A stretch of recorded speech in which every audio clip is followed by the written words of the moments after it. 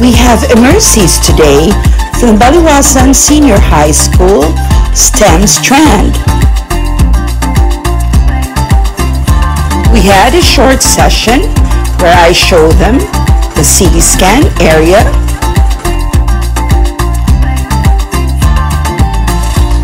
demonstrated on how an ultrasound was done,